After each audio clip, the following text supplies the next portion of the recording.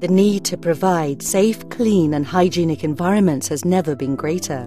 Even in the cleanest of surroundings, harmful bacteria, fungi, and mold can multiply on surfaces leading to infection and illness.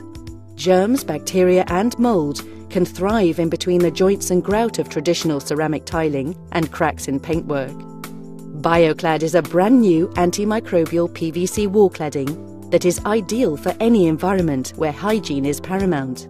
Manufactured using silver ion antimicrobial technology, BioClad ensures continuous protection that is guaranteed for the lifetime of the building, inhibiting the growth of bacteria such as MRSA, E. coli, Legionella and Salmonella.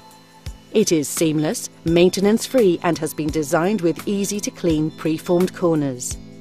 Specific zones within the care home, such as shower rooms, bathrooms and corridors, and patient rooms, can be selected with BioClad walling in a range of complementary colours to reduce the risk where infection control is most required.